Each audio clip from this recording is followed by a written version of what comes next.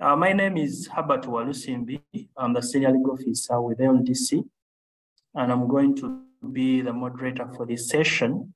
But before I delve into the nitty gritties of uh, this particular session, allow me to call on our chairperson, Rule of Law Committee, uh, Mr. Evans Ogada, to make a few introductory remarks and also uh, maybe introduce the members of the committee. Council, please, the floor is yours.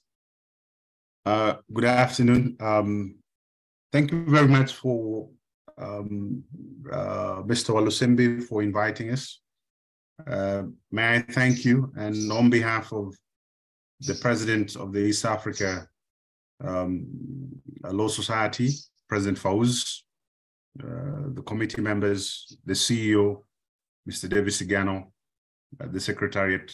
Thank you very much to those who are joining in. We welcome you. The conversations that we continue to have uh, relate to the rule of law.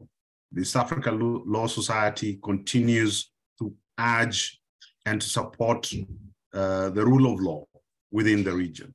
We will continue to uh, impress on partner states and on uh, all that are concerned within the region to abide by the rule of law because without the rule of law and adhering to the rule of law, all else will not matter within the region. So I welcome you. We are going to have a profitable discussion, of course, enabled by our good moderator, Mr. Herbert Walusimbi. We wish you a good, fruitful uh, period during the discussion. Thank you very much.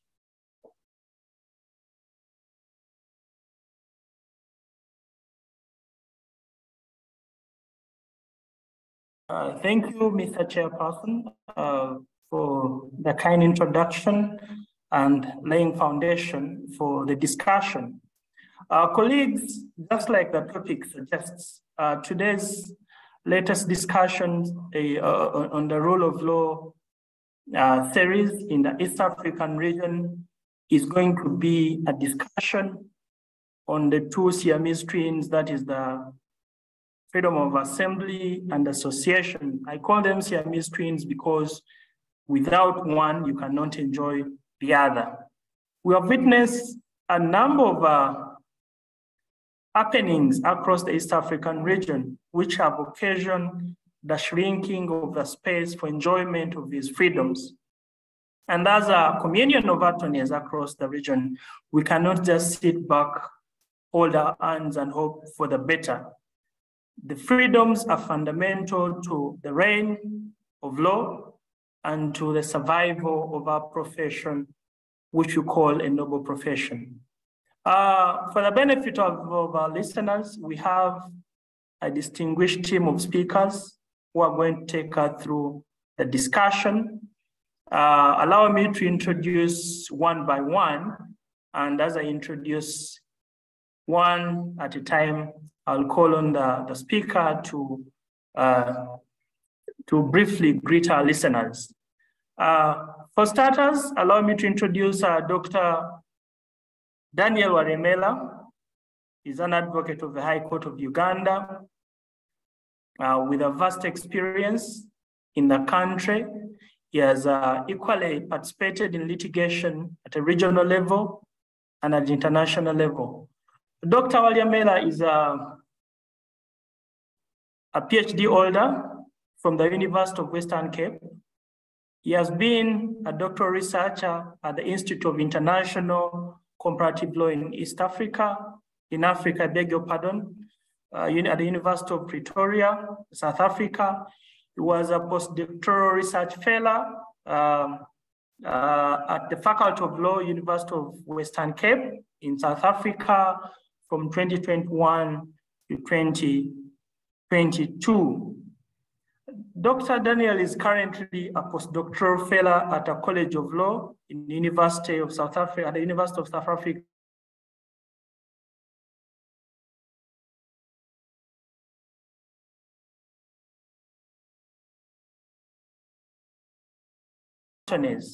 from Uganda who are listed on Council of African Court on Human and People's Rights.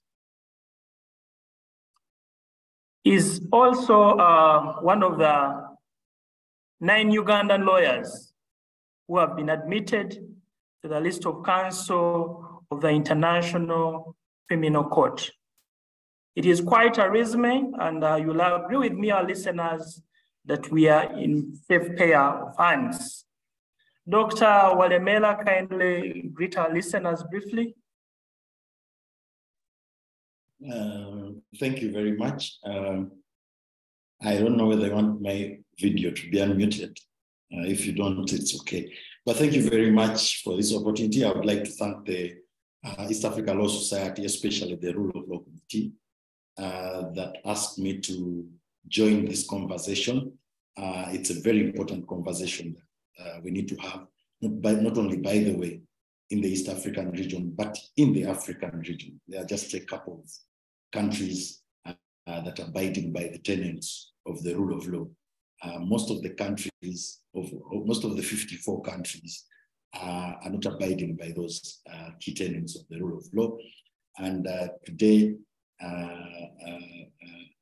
we will tackle the aspect of association, but just like you mentioned yourself, you cannot tackle association, the freedom of association without discussing the freedom of assembly. Uh, but I would also like to add that you can also not discuss those two without discussing uh, free speech. Uh, so I would, I, would, like to thank you. And uh, uh, I, I, want to thank everybody who has come in here to uh, have this conversation with us. Thank you. thank you, Doctor. I entirely agree with you.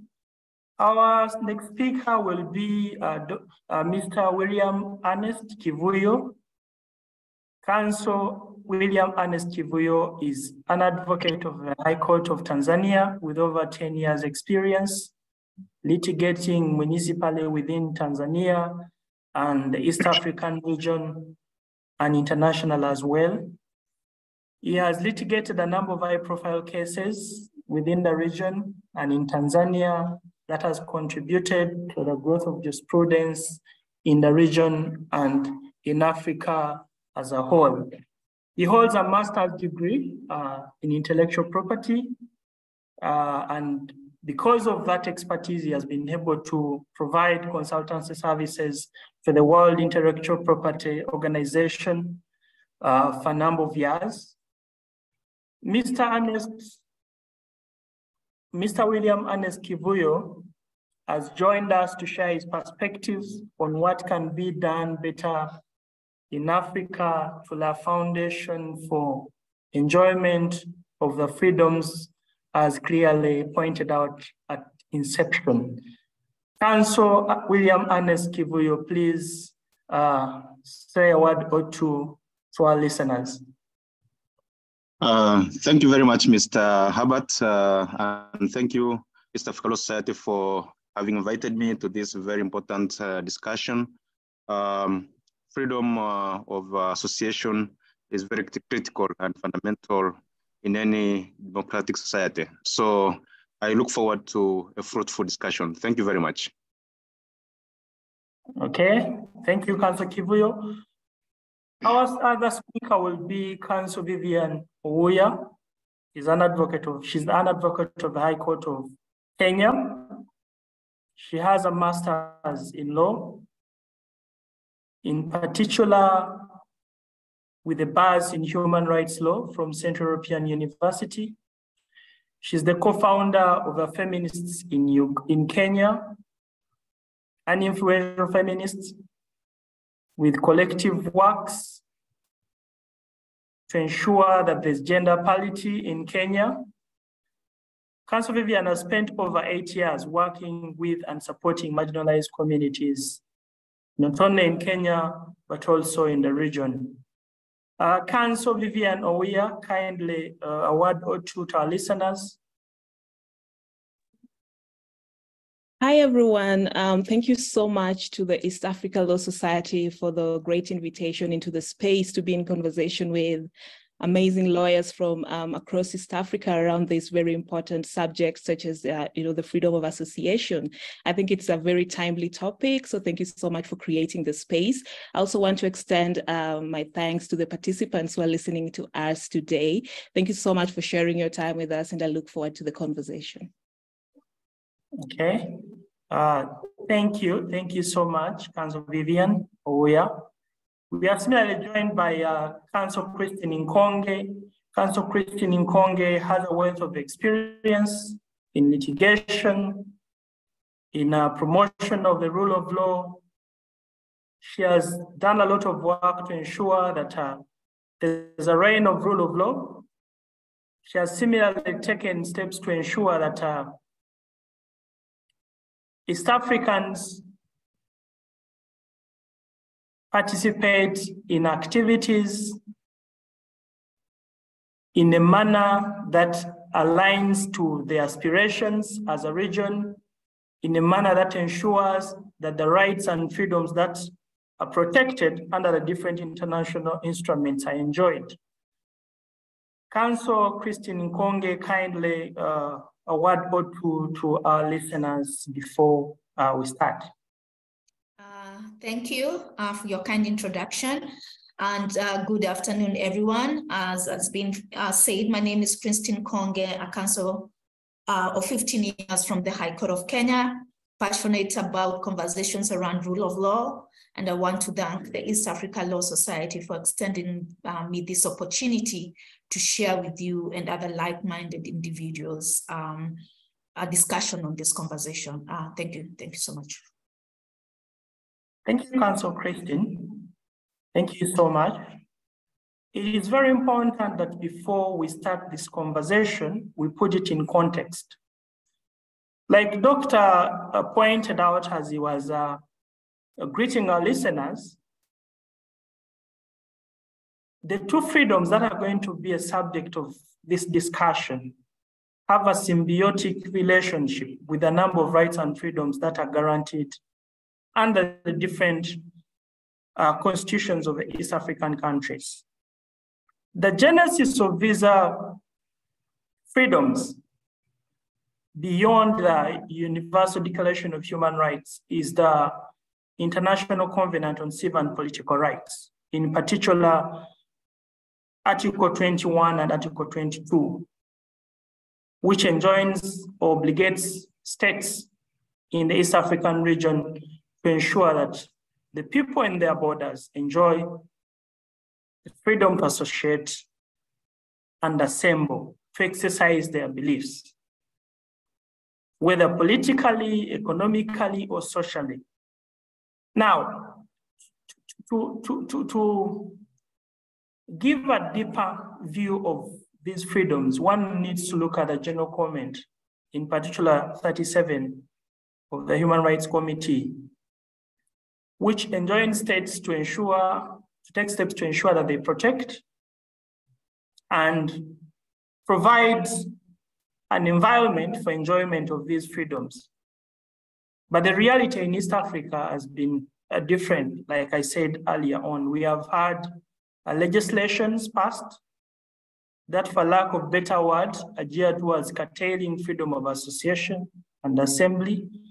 We have seen uh, police, for example, in Kenya, violently crack down on the protest by Kenyans, in particular in Nairobi, against the hike in prices of foodstuffs. We have seen a hastily, despite your view, by the way, a hastily promulgated principal legislation in Uganda that bars uh, same-sex practices and uh, richly criminalizing the practices and anything associated with it. Now, a human rights perspective applied to these practices uh, clearly gives an impression that the freedoms which are subject of today's discussion are going to be curtailed. And that takes me to, to, to, to my first question to the panelists. In particular,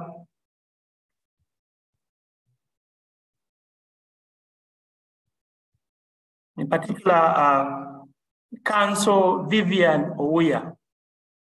Please, given your experience, 15 years, I beg your pardon, over 10 years of practice, you have seen what has been happening in the region.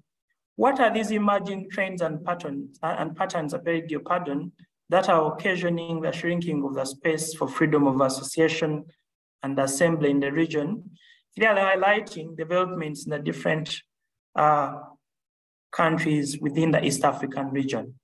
Councillor Vivian Ouya, the floor is yours.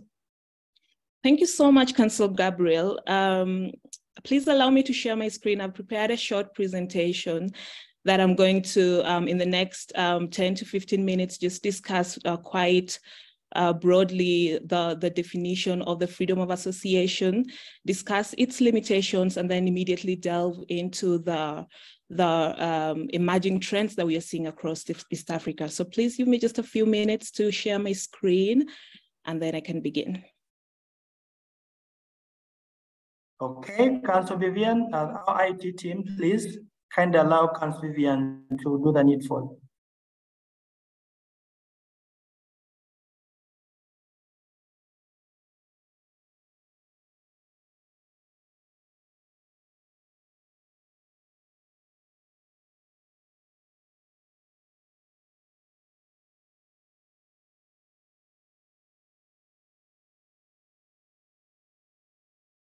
Um, Council Gabriel, can you see my screen? Is it visible on your end?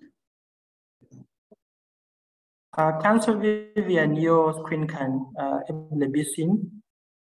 Right now we okay, are freedom of association in East Africa, emerging trends and patterns across the region. Great, great. Thank you, thank you. All right, so um, first I'm going to start just defining what the freedom of association is. And this right, uh, this is a fundamental human right that is, uh, you know, that gives us the power and the autonomy to, first of all, to form, um, um, I break off at any point. Am I still audible? Yes, yes you sir. are.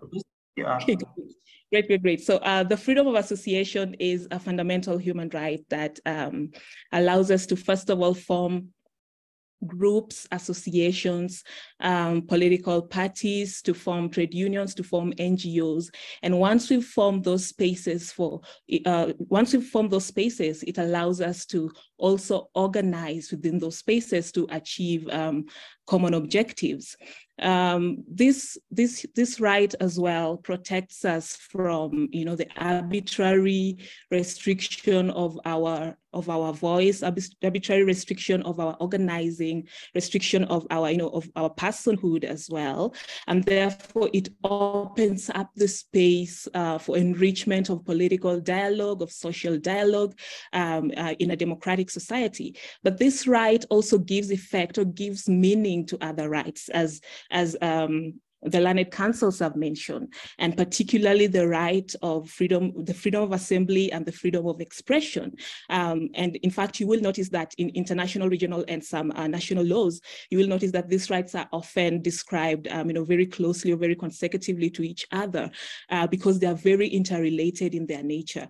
Um, I will use an example um, say you are organizing for good governance, right? So you create an NGO that um, that pursues good governance. You have to be able to express the need for that good governance, and if there is bad governance, you would um, also need to be able to say assemble or picket or protest against that bad governance. In a similar way, if you're organizing within a trade union, um, say particularly for the rights of domestic workers, say you want to, um, you're agitating for their, for, the, for an increase in their domestic wages, um, you want fair wages for them, you, you should be able to articulate that, freely express that without any, you know, targeted harassment on your personhood, but also um, being able to uh, um, um, pursue industrial strikes in that regard. So in that way, we see how the freedom of assembly and the freedom of expression and associ association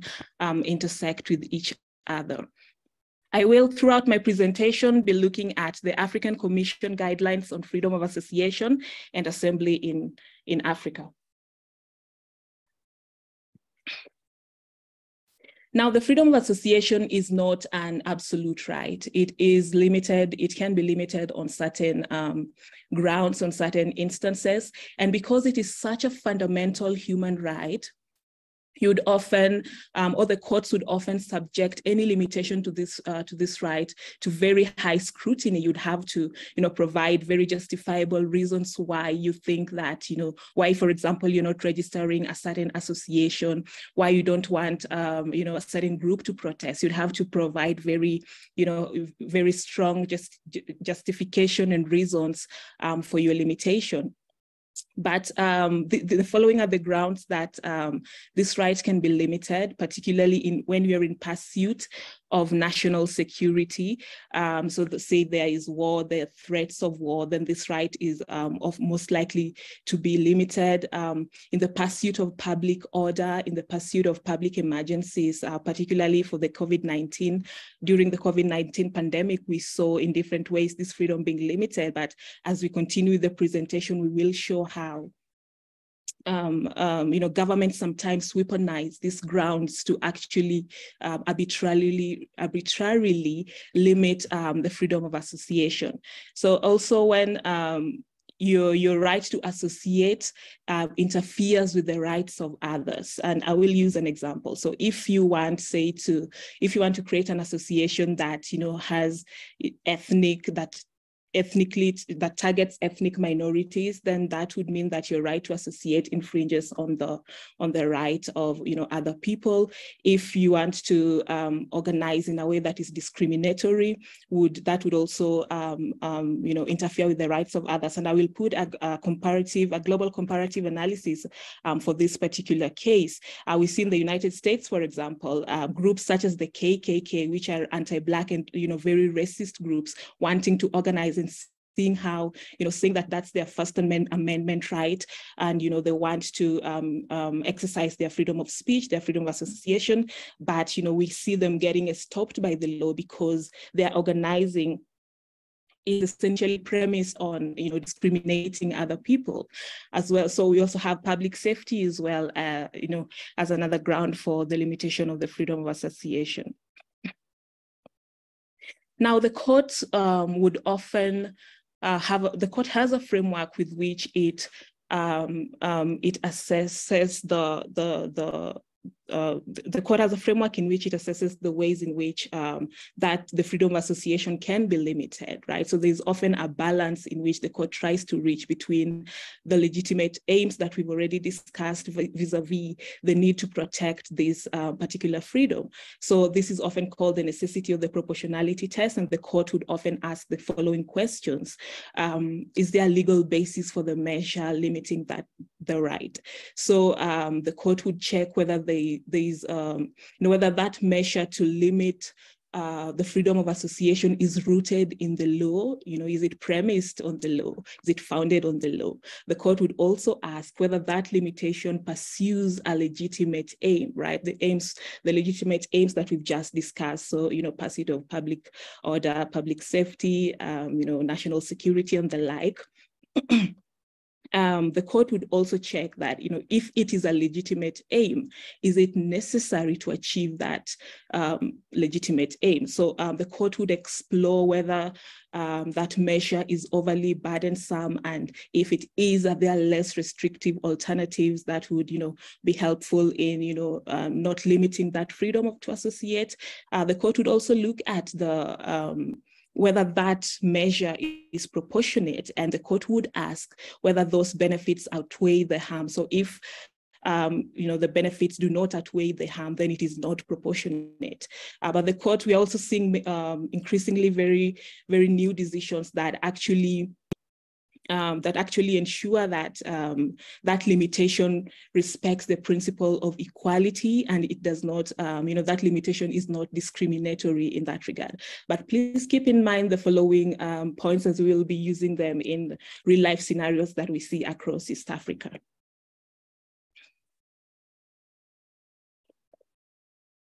Great, so um, Now let's talk about the emerging trends um, in freedom of association, assembly, and expression that we are seeing across East Africa. And um, please also you can just look at the, the visuals that I've put in the, that I've put in this presentation because um, I'm just trying to accommodate visual learners like myself.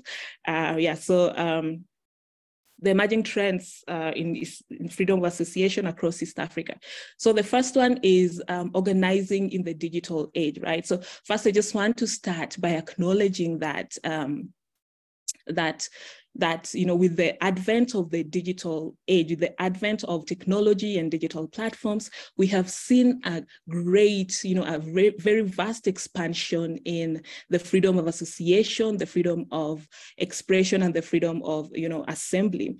In that um, especially for ma marginalized communities who would often not find spaces for organizing within uh, mainstream digital within mainstream media. So they have found on digital platforms spaces to advocate um, for, for, the, for their experiences, spaces to add voice to their experiences. You know, just going on Twitter as a marginalized person, now you can, with one tweet, reach a politician and, you know, um, share what your perspectives are on certain issues. Um, we are seeing the rise of digital protests, right? So people mobilize each other on digital platforms and actually take to the streets to exercise their freedom of assembly. We have seen worker solidarity across, um, you know, across across the globe that, you know, workers, um, say in, in Seychelles, um, you know, are uniting with workers in Kenya and workers, you know, in Uganda and workers in Rwanda and, and so on and so forth. So I do feel that with the, with the rise of technology, we have indeed seen um, an expansion of these rights, uh, but also I do see the internet as a double-edged sword. That on the one side we have all these gains, but on the other side we're having, uh, you know, increasingly autocratic governments and authoritarian governments actually recognizing that you know what, uh, marginalized communities actually have voice and they are visibilizing the fact that you know governments are actually oppressing them, and so governments are in turn retaliating to close down this, um, you know, digital civic space. And uh, I'm just going to speak very, very shortly about how these, um, you know, these autocratic uh, regimes are, are unfolding on the internet. So the first case is a case of, you know, the case of internet shutdown. So internet shutdown is essentially when a government makes an executive order that all, um, you know, um, forms of communication on the internet are to be shut down, are to be closed off. So therefore that means no access to the internet, no access to information, no access to you know, community, the way we are social beings, we do not have therefore access to community. And so we saw, uh, you know, we saw a very, uh, you know, very important case in the 2021 um, Ugandan elections, where the internet was shut down through an executive order, and therefore people could not, you know, um, monitor the elections. People could not uh, have even access to their bank accounts. People could not, therefore, access healthcare. People could not, uh, you know, associate freely. People could not protest in that regard. So, and I really, and I really appreciate the East African Law Society for actually appro approaching the the East African Court of Justice to actually articulate and to actually uh, pray for a declaration that um, such an executive order is unconstitutional, but also hold the Secretary General of the East African Community to account by letting, you know, by letting the office know that you know they have the mandate to stop governments from using um, you know their power arbitrarily. So that's on internet shutdowns.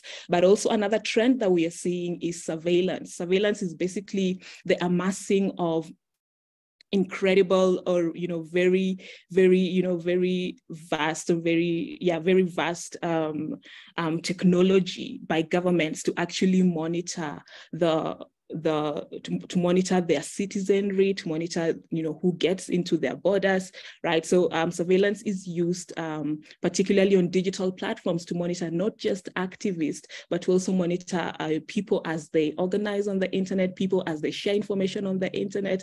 And we saw um, during the COVID-19 pandemic, particularly in Kenya, the use of facial recognition technologies, those are FRTs, the use of um, FRTs to basically spy on, you know, um, um, so FRTs and contact tracing tech to basically try to see, um, you know, who had been in contact with, uh, you know, a person uh, who had COVID and the like. So we do know that, as we have discussed, that, you know, public emergency is a way in which freedom of association can be limited, but we see the government going overboard. We see the government unjustifiably using technology to actually surveil on its citizenry. So that's another trend um, that's coming out across East Africa but also we have censorship where um, you know people cannot access information on the internet. So because tech companies particularly want to continue operating in East Africa or wherever they are based, they have taken to um, um, you know, accepting government um, government decisions or government recommendations to ban certain content,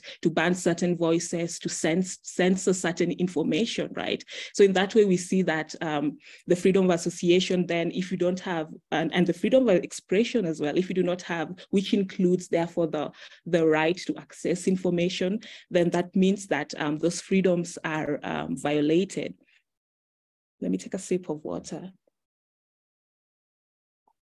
Great. So um, so the rise of incel culture as well. This is a personal favorite to talk about because I see it all the time um, as I as I as I organize and as I, as I do my work. Incel culture is essentially a movement uh, or a culture of people or, or, a culture whereby people, particularly men, you know, um, use um, heavily misogynistic, heavily sexist, and heavily racist um, terminology on the digital platforms to make sure that um, women cannot have voice, women cannot have autonomy, women's you know sexual expression as well is policed on the internet. And the problem with incel culture is that um, women, sexual and gender minorities therefore cannot organize, cannot exist fully on the internet as they are meant to be, right? So, um, so that's why we see then cases, rising cases of online gender-based violence, rising cases of the non-dissemination, uh, you know, non-consensual dissemination of intimate images in what we call revenge porn, and also what we say, you know, the images are leaked, but really, um, I avoid using the term, you know, the images are leaked because they are not leaked, they are intentionally shared on digital platforms with the aim of, you know, embarrassing um, women, embarrassing the survivor, um, you know, shaming them um, and the like. So this is also just a call to action for us on the call to just reflect on our participation of sharing. So if you see on Telegram that say this influencer has their images leaked on, on Telegram, do you want to see it? And when you see it, do you share it, right? That's something we can just reflect on and also um, reflect on how that infringes on the freedom of expression of those people but also something we're exploring and something that's coming out um, on digital uh, of around organizing in the digital age is uni universal jurisdiction on the internet. What does that look like, right? Knowing that the internet, you know, the question really is who governs the internet. So universal jurisdiction is essentially um, um, when governments can claim jurisdiction for a crime, even when it doesn't happen within um, their jurisdiction. So um, for, for cases such as, say, you have, you know, someone has shared your intimate images in Seychelles and you're based here in Kenya, who has regulatory authority around that? And sometimes these uh, perpetrators, sometimes they, they hide under anonymity, right? So you don't know who truly shared your images. Sometimes you don't know who is distributing that child pornography, right? So it's often often it, it's a question that I'm also exploring and I'm hoping that we can um, have those conversations on this, on this webinar, but that's also something that is emerging um, that's also something that is emerging um, as we organize in the digital age. A minute as a drink water. Great. So um, that's on that. That's on organizing in the digital age. Now I will talk about um, another trend that is emerging and it's criminalization of certain forms of association. Now, um, across East Africa, we are seeing, you know, the emergence of laws that target particularly LGBTIQ people and communities, sex workers as well, and how they organize. Um, and these laws are, you know, premised on the fact that there's a need to protect family values, there's a need to protect morality. And particularly we see how these laws, um, and I'm talking about the anti-homosexuality bill um, in Uganda, I'm also talking about the family protection bill in Kenya that you know that has just emerged, but also um, tying this to the broader um, um, you know practice or exercise or society that we live in. We saw in Rwanda women in a woman who was arrested because she dressed in a in an immoral way, right? So and it raises questions of law and morality as well. So we see in these laws um, we see that these laws actually restrict the registration and access to funding for queer organizations, right? So these laws actually say that, um, you know, um, if you register, uh, say your organization and you're particularly working around queerness and, and you know LGBTIQ rights, then you know you've committed a crime. And some of them go so far as to um, and you know put the penalty, the death penalty on um, on people who are arrested on these charges. Um, but also these laws, they call for the deregistration of queer organizations as well. And we saw in Uganda, um, the NGO, is it called the NGO board? The, yeah, the NGO board in Uganda actually deregistering, I think, SMUG, SMUG, the organization, right? Because if you deregister this organization, that means it cannot therefore continue its operations because of the continued surveillance, because of the you know, now lack of uh, access to funding. And therefore, this is a space where queer people actually come to access other rights, right? So it means that you limiting this freedom of association has now led to a trickle down effect um, whereby now queer people cannot access other socioeconomic rights as well. Um, we also see um, laws that actually surveil uh, queer organizations. We are seeing um, administrative regulations that call for excessive bureaucratic requirements. You know, so if you want to register an organization that deals with sex work or that, that deals with, you know, queerness, then now you have to, um, you know, particularly jump through hoops, jump through administrative hoops to actually get registered uh, in that regard. But I am proud that right now in East Africa, we have a great decision from the Supreme Court in the Eric Gitari case versus the NGO board. Um, that essentially say that only laws can limit rights and only in a justified way. Moral or religious beliefs of a majority cannot be used to deny a minority's rights and therefore allowed the um, um, the, the Gay and Lesbian Human Rights Commission to actually register despite having the words gay and lesbian in its name. Great. So I will also talk about the rise of movements and collectives. So this is another trend that we are seeing um, across East Africa, right? So first of all, I want to acknowledge that um, these, these movements or collectives are organizing or are rising up because um, there's a recognition that nonprofit organizations, as we know them, have sort of morphed into have sort of morphed into, um, um, you know, operating like the state, operating like the corporations that they're trying to, you know, call out essentially. And so, um, and so we see, you know, this is what is called the nonprofit industrial complex, that instead of the nonprofit organizations as we know them actually fighting against oppression, they have sort of replicated as well um, those systems of oppression and within and of themselves, as they even advocate for these fundamental human rights freedoms, they themselves um, in their, in their, you know, for their workers, for the people people that they you know organize with actually violate those fundamental human rights. And so we see the rise of movements and collectives as an alternative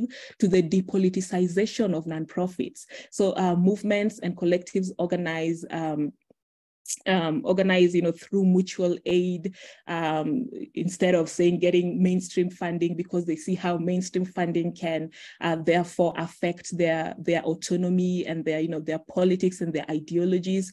Um, we see movements and collectives being very unrespectable, right? I think that's the word, unrespectable in a way because they um, therefore bring their politics to the forefront and they feel that um, nonprofits, um, nonprofits as we know them have been depoliticized um, as well. So we see a political choice um, by these movements and collectives to therefore not have a legal personality. Uh, but as we discussed here, let me just go back. As we discussed here, the African Commission Guidelines on Freedom of Association and Assembly in Africa actually allows um, for you know, that associations do not have to be registered. Associations can also be non-registered. They don't have to have a legal um, personality in that regard. So um, yeah, so rise of movements and collectives. And I think uh, this is, uh, don't know if I have time, but yeah, the militarization of COVID-19. So during the during the pandemic, we saw, particularly in Kenya, and I think Uganda as well, we saw how the police uh, basically, how the state basically used, you know, its powers arbitrarily to, you know, saying to to to to um, police people, to limit the freedom of association, to, you know, to adduce police brutality and to give, you know, broaden police power to, you know, to disperse different assemblies. And um, we've also seen that, you know, during the COVID, COVID-19 pandemic, that governments uh, governments essentially could not or did not want to invite to the space for conversation um, civil society organizations, trade unions, political parties, particularly, uh, you know, the opposition, um, you know, to the table to actually try to find collective ways of ending the COVID-19. So it was a way that, you know, civil society and other groups were really maligned in trying to, um, uh, in trying to solve the COVID-19 pandemic. Um, yeah. I think this is the last one. So weaponization of defamation laws. So um, we are seeing as well this trend where um, um, so if as a woman you come out and say that, uh, you know, I was sexually harassed by this person, especially if that person is, you know, uh, you know, and in, you know, someone who is very influential, you'd often get hit with a with a civil defamation suit. And so uh, we we've seen that happening to, you know, different different women, particularly we saw in the Shailja Patel versus Tony Mochama case. Uh, you know, you know, Shailja Patel say that you know this happened to me and got hit with a defamation sued and actually was, you know, the courts demanded that she had to pay, I think, 87,000 USD to, to, to a person who sexually harassed her. So um, we're seeing this trend coming out and um, communications from the Human Rights Council have, you know, stated that, you know, the experiences of survivors of violence are actually a matter of public interest and form part of the freedom of expression. The right to speak about the experiences of violence, harassment, and discrimination is integral to the right to live free um, from violence. But also in Uganda, we saw through the Computer Misuse Act of 2011, particularly article, you know, um, um, particularly in subsection 25, um, we saw that, you know, um, the, the, the, the provision that, you know, uh, prohibits offensive Okay, so the, how the Act prohibits offensive communication, that particular provision was used to actually target activists such as Dr. Stella Nyanzi and, um, you know, Kakwenza in, in, in Uganda. So in this way as well, we see how um, laws are being weaponized, first of all, to target activists, but also to um, numb or, you know, shrink the voice of survivors of violence that, you know, if you cannot um, therefore report um, your sexual violence, if you cannot articulate, say on digital platforms, how you are sexually harassed, then it would amount to um, defamation in that regard. Um, I'd like to stop there, and I hope that at the end of uh, a presentation from other counsels as well, we will therefore be able to explore more, and I would be able to answer some questions, also hear some of your comments around this, but thank you. Uh, thank you so much, uh, Counsel Vivian. I think uh, that was quite insightful. For the benefit of our listeners, uh, Counsel Vivian, I would like you to turn on your video so that they can see who the able discussant has been. There she is. Yeah, yeah, this is me. Thank you. Okay, thank you so much, Counsel Vivian. For a brief recap of uh, Counsel Vivian's presentation, she has clearly defined the freedom of association, what it entails, and what it means within the context of international law. She has similarly uh, made it clear that the freedom is not absolute. There are limitations provided under international law and municipally under different constitutions of the different member states of East African region. Um, she has also taken us through the tests. What qualifies as acceptable limitation within uh, international law? What courts of law look at to justify particular limitation? And whether that limitation is justifiable within a democratic dispensation. She has made a case for usage of uh, the digital space in uh, promotion of uh, freedom of association and assembly, and how the same spaces have been used by, by states across the East African region uh, to curtail freedom of association and assembly. She has spoken about criminalization of certain forms of association. This is not new for countries like Uganda. We already have a legislation that uh, curtails any association of members who uh, practice same-sex relations. She has also talked, uh, talked about uh, the rise of movements and collectives uh, and clearly stated that uh, you no longer have to register to have a legal personality to associate or to have a movement that promotes your beliefs, your opinions, as a group. Militarization of uh, COVID-19 pandemic, uh, it was a first of its kind. We don't know what will happen if you have another pandemic. We saw in Uganda, in particular, uh, where uh, force was used to dis, uh, disperse persons who had gone to pro provide foodstuffs to different groups of people who didn't have means under the guise of ensuring public health, as well as using defamation laws to curtail expression of opinions by those in government that are perceived to be anti-establishment. Like uh, what uh, Dr. Walyemera earlier said, you cannot talk about freedom of assembly and freedom of association and don't talk about uh, freedom to express one's opinion. They move hand in hand. Once again, thank you, Counsel Vivian. Let's now move to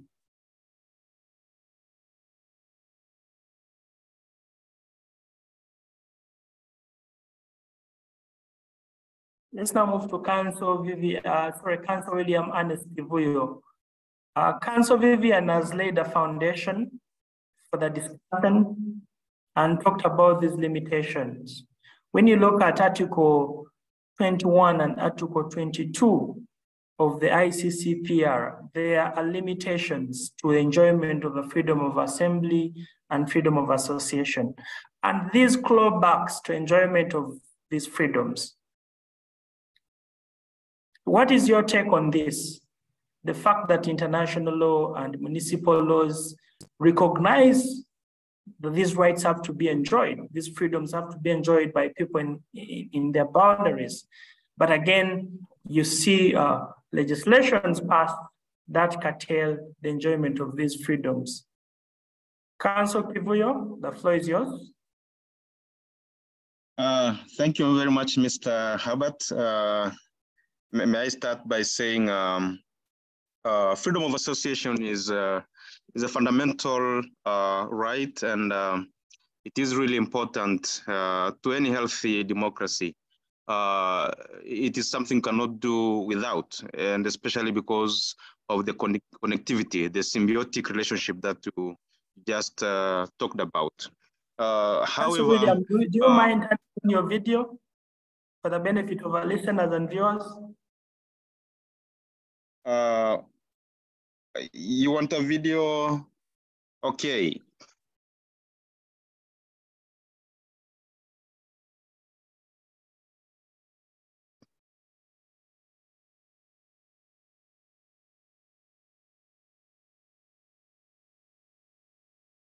Uh, could there be some connection issues?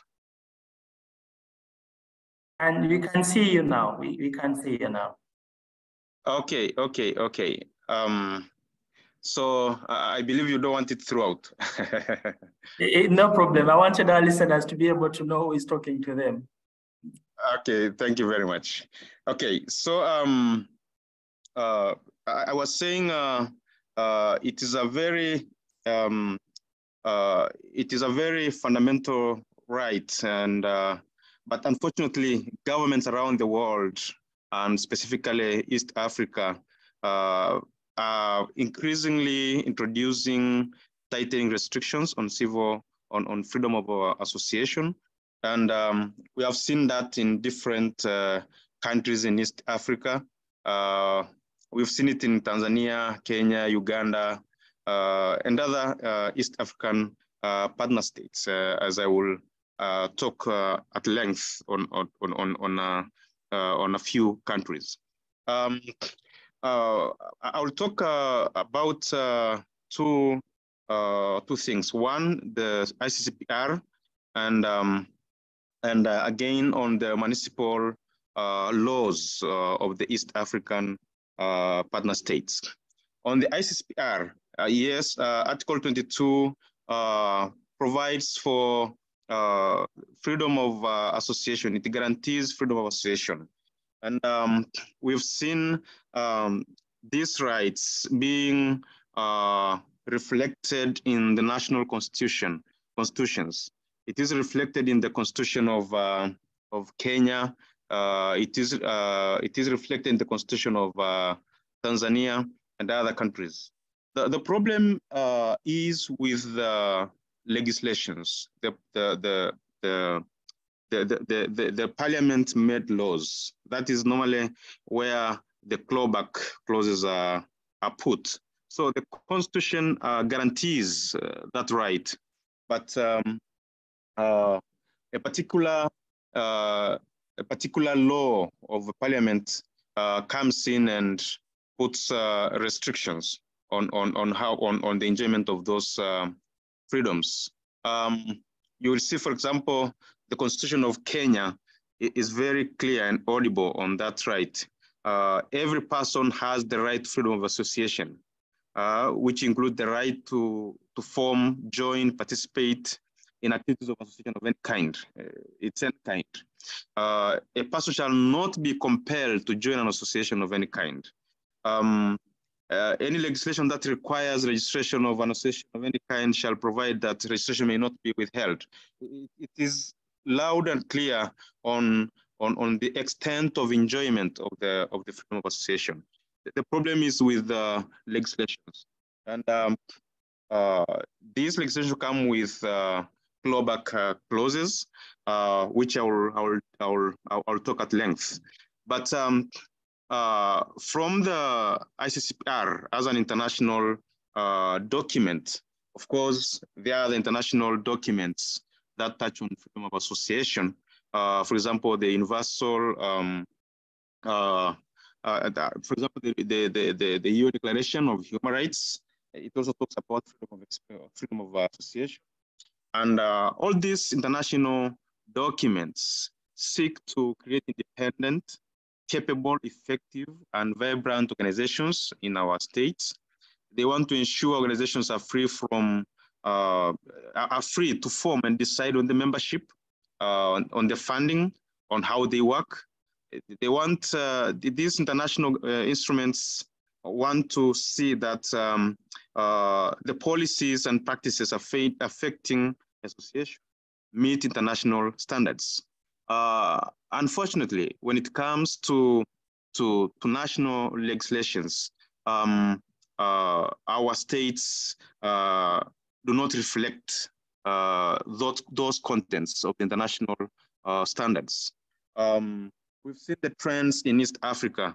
Um, uh, there are trends of restrictions on organizations working in civil society, including restrictive laws, regulations, practices, and barriers to access to, to funding. And there are funding cuts. And also, um, in some countries, it goes as far as um, freezing the bank accounts. Uh, this, for example, happened in Tanzania uh, to some organizations where their funds were freezed uh, in the banks and the government took the funds uh, during our fifth uh, uh, government. Now, there's, there's, that, um, there's that trend in our national, in our national, in our countries. Um, it is estimated that between 2015 and 2018, um, most all, all about uh, 72 countries all over the world, including East African partner states, uh, have introduced laws restricting operations of um, uh, you know organizations. Um, And of course, these, um, these restrictions come along uh, the lines of accessing to funds, the legal status and formation, governance and operations, uh, reporting requirements. On, on access to funding, uh, you, you are, you are, there are restrictions. We will see, for example, with the laws of Tanzania, with the amendments that came in 20, uh, 2019, where you are restricted on, on, on, on, on, on how uh, to seek funding, and uh, there are so many requirements. Uh, legal status and formation, um, we have controls. For example, in Tanzania, uh, during the fifth uh, government, um, uh, you could, when someone attempts to register an organization, there are those structures that would require you to be as clear as possible. For example, when you put such a statement as uh, inclusion, then they are, they are told remove, and there's no space for discussion. Someone is on is, is is is in a position of deciding, so it just says remove this word. We, we don't want to see it. Uh, no explanation, and if you don't remove, um, you are not registered. So uh, there are those um, uh, uh restrictions. Um, governance and operations um, they are they they go uh, to an extent of um, uh, you know wanting to know what exactly you are doing, wanting to know uh, who are you involved with. Uh, if it is someone whom the government is negative about, then uh, uh, you're in trouble, and the organization is in trouble. Um, and you know there are always ways of the government to finding a way of screwing an organization and it's difficult to get out of the, their hands. You, if if the tax authorities are sent to your office, um, it's normally difficult to find you clean, and um, they, they'll, they'll use it as a reason to to deregister an organization. Um, reporting requirements. Uh, the laws, for example, in Tanzania have been tightened. Uh, it, it, just requires a lot, as we will see uh, later. Um, allow me to kind of uh, now talk about municipal legislations. And um, let, me, let me start with Tanzania. Um, uh, let me start with Tanzania where uh, I am based and uh, where I have practical experiences on, on, on these restrictions. Um, the Constitution of uh, the United Republic of Tanzania, Article 20, uh, provides for freedom of, of, of association. It provides for freedom uh, of persons to associate. Uh, but like I said in my previous, uh, in my introductory remarks, um, the Constitution guarantees those rights. And sometimes it, it, it, it is crafted uh, in a manner that resonates with international standards. The problem is the, with, the, with, the, with the the acts of parliament, the legislations. Um, the, these legislations um, are restrictive, are um, too much restrictive, such that um, it becomes difficult to operate. For example, uh, I'll talk about uh, three uh, legislations. The non one, the Non-Governmental Organizations Act of 2002, revised edition 2019. Uh, uh, this act was was um, enacted in 2002, and when it was enacted, it was kind of a fair law.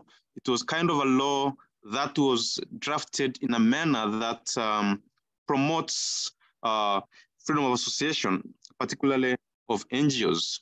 But in 2005, uh, there was a miscellaneous, a miscellaneous, amendment that now started to uh, to put um, some, some, some, to shape the, the act. Uh, the 2005 amendments uh, were not too bad. They were kind of fairly clear. I mean, I mean, uh, kind of um, fair um, because uh, what, it, what uh, the 2005 uh, amendment did was to put more clarity on the definition of an NGO and um, to introduce, to give NGOs the status of a, corporate, a body corporate capable of suing and being sued, uh, capable of acquiring, purchasing, and disposing property. But again, uh, it gave it the, the, the, the, mandate, the ability to enter into contracts. The problem was from 20, uh, 2018.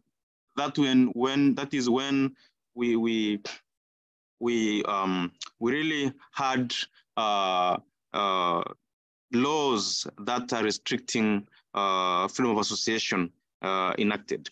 In 2018, uh, through uh, government notice 609 of 2018, uh, there was um, a regulation, Non-Government Organizations Act Amendment Regulations, that was um, passed by Parliament in Tanzania.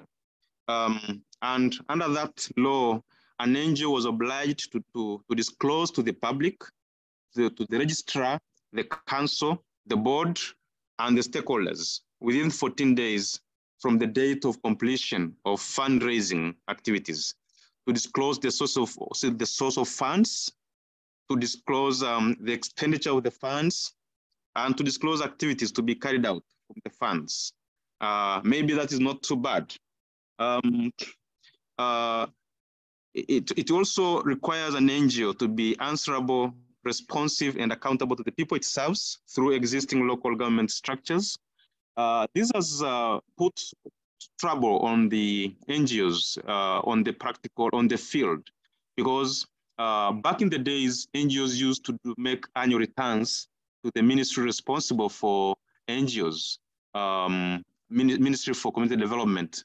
Um, but now, under this new uh, regulation, uh, the NGOs are being required to be answerable and accountable to the local government uh, authorities, which do not even know how NGOs are operated. So they sometimes uh, pop into NGO offices and uh, they inquire about uh, information about issues that are uh, irrelevant and not, not practical and not uh, supportive in the work of NGOs, and it just becomes chaos.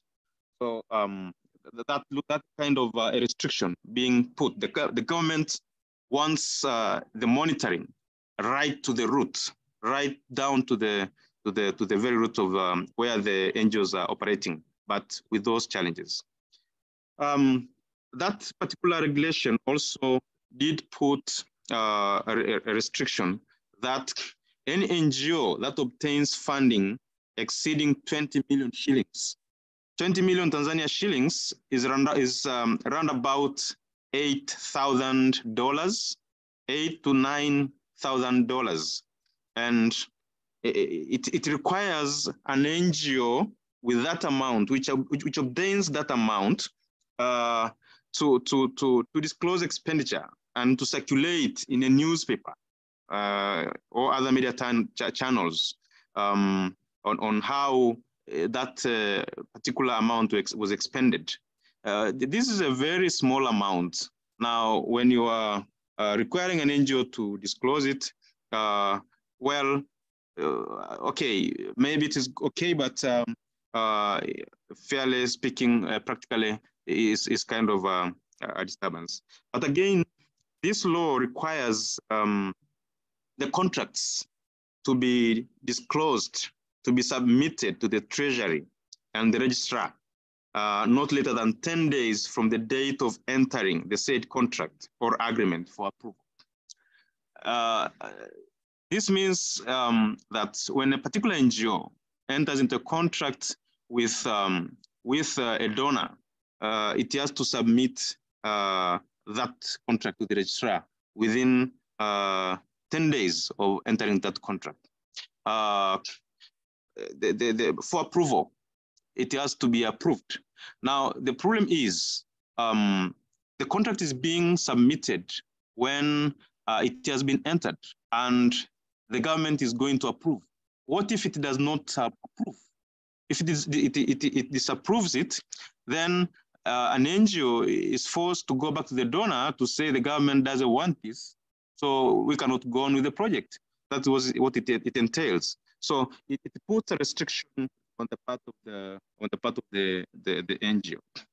But again, uh, in 2019, there was another uh, restriction, another law that was um, made that was uh, uh, made in Tanzania. The non-government organizations renewal and, and incentives regulations of 2019.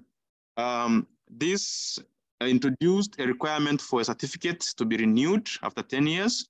Uh, back in the days, uh, once an NGO is registered, all it does is to do the annual returns and these other administrative uh, uh compliances. But now, uh, an NGO, an NGO certificate is only valid for 10 years. After that, an NGO now, with this new law 2019, it has to renew it. If it doesn't renew, then the organization becomes um, uh, as good as no, no, no, no, non-existing. Um, um, well, that law allows uh, for appeal if the registrar refuses to register. Uh, one can appeal to the minister and then to the High Court. But again, that is a, a restriction. A, a restriction. Um, that was not enough. There was another regulation in the same year, 2019, that was published. Uh, it was called Non-Governmental Organizations' Rights and Duties of Assistant Registrars. Um, this introduced an assistant registrar uh, who is to be appointed by the registrar. And this one now is the one who monitors um, uh, who monitors the NGOs uh, at the lower levels. And it requires that an NGO implementing a project with funding contract um, of the value of Tanzania shillings 20 million, again about $8,000, uh, should have a letter of approval from the registrar. So uh, those who have been in NGOs, we, we understand that you normally submit uh, a proposal uh, with a timeline showing when are you supposed to start the project, when the project should end. But you cannot start until you have an approval uh, from the registrar.